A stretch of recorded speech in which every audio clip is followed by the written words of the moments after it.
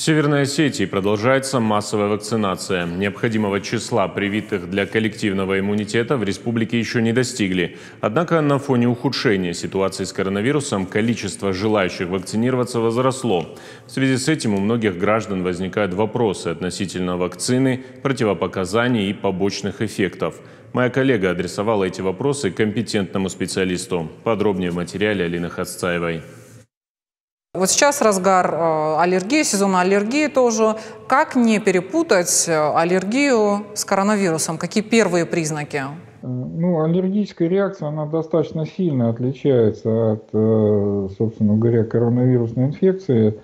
Если мы говорим про респираторную аллергию или аллергию на пыльцу, то один из самых первых признаков такой аллергии – это частое чихание – Зуд в носу, к этому может присоединиться зуд глаз, конъюнктивит и воспаление век. То есть это вот самые такие распространенные симптомы респираторной аллергии на пыльцу. Температура при этом, как правило, не повышается. При коронавирусной инфекции э, нос, э, горло там сухое, горло может немножко как бы драть, вот потом а, появляется температура, боль в грудной клетке и кашель. То есть симптомы достаточно хорошо различаются, но некоторые пациенты, понятно, могут путать и аллергию, и начало коронавируса, особенно те, кто вот э, у них сезонная аллергия начинается. Перейдем к теме вакцинации. Расскажите, пожалуйста, о том, какие основные противопоказания для вакцинации.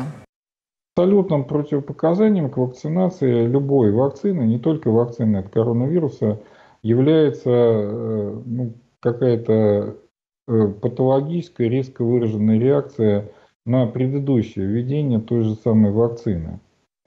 Э, такие реакции ну, крайне редко, то есть это частота там один на несколько миллионов введенных доз – и если говорить вот про самую распространенную вакцину, которая вот называется Спутник Ви или Спутник 5, э, значит, на эту вакцину и у нас, и у зарубежных наших коллег, которые все тоже отслеживают, ни разу не было каких-то э, поствакцинальных реакций, которые бы хотя бы потребовали госпитализации, не говоря уже о том, что какие-то серьезные осложнения там или смерть наступила пациента таких реакций ни разу не было.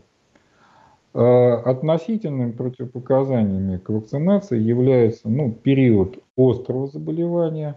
Ну, вот в частности, если у вас сейчас аллергия на пыльцу, то это относительно временное противопоказание. То есть до окончания сезона а, аллергии а, вот, дается временный медицинский отвод. Вы сами вакцинировались? Да, я вакцинировался полной дозой. Спутник Ви два раза, ну, в смысле, две инъекции. А почему именно эту вакцину выбрали для себя? Во-первых, это самая изученная, самая эффективная и самая безопасная вакцина. Из, э, я не только говорю про Российскую Федерацию, а э, если даже сравнивать с вакцинами всеми остальными, которые в мире производятся, Спутник Ви – это одна из самых безопасных вакцин э, для здоровья вакцинированного человека. Э, как любая вакцина, она, естественно, может вызвать э, некоторые поствакцинальные реакции, но это совершенно нормально, это любая вакцина. Не то, что там может вызвать, а она должна их вызвать, потому что, вводя вакцину, мы вызываем ответ иммунной системы на эту вакцину. И вот люди ощущают, что у них, э, у одних иммунная система достаточно бурно реагирует на введение вакцины, а другие люди вообще ничего не ощущают, то есть у них как бы иммунная система ну, не настолько сильно возбуждается, чтобы вот, ощутить вот эти э, поствакцинальные реакции. Если сравнить вакцины, которые сейчас доступны для населения, а в чем между ними отличие?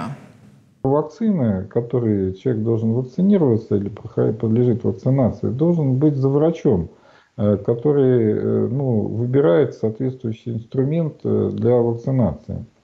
Для массовой вакцинации, вот такой именно массовой, был предназначен спутник Ви.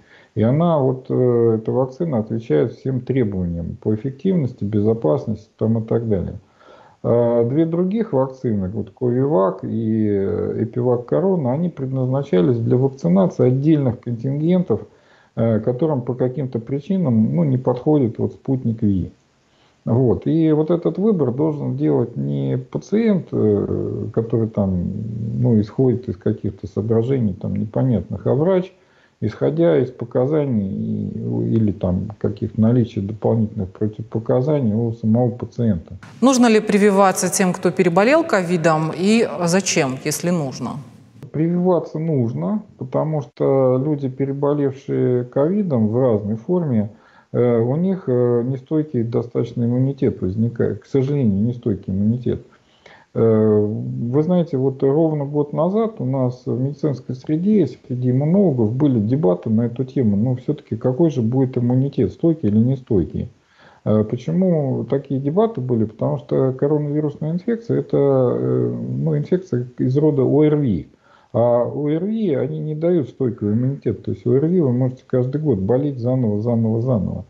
Ну, собственно говоря, так и произошло. То есть коронавирусная инфекция дает нестойкий иммунитет. И самое главное, что люди, которые болеют коронавирусной инфекцией в той или иной форме, особенно там тяжелые заболевания, у них изначально их иммунная система была повреждена.